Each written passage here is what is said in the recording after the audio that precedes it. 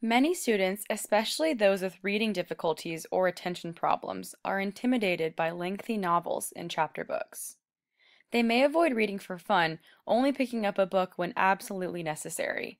Fortunately, there are many ways to think outside the box about reading. First, have reluctant readers try magazines. Articles can be pretty short.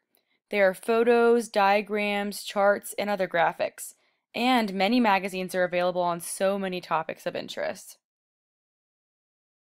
Most magazines are available online or associated apps. Reading on portable devices may be more enticing, not to mention convenient, than physical books. Comic books span reading levels. Some are lighthearted and funny, while others are loaded with action and adventure.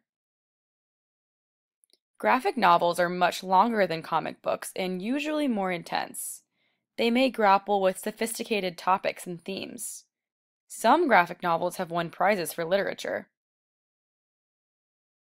Also, the illustrations in comic books and graphic novels help readers visualize what they're reading, which is called cognitive cinema.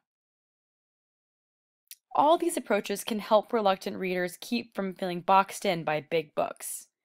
There's a wide world of reading options to explore. For more practical psychology to enhance your life, check out psychbytes.com.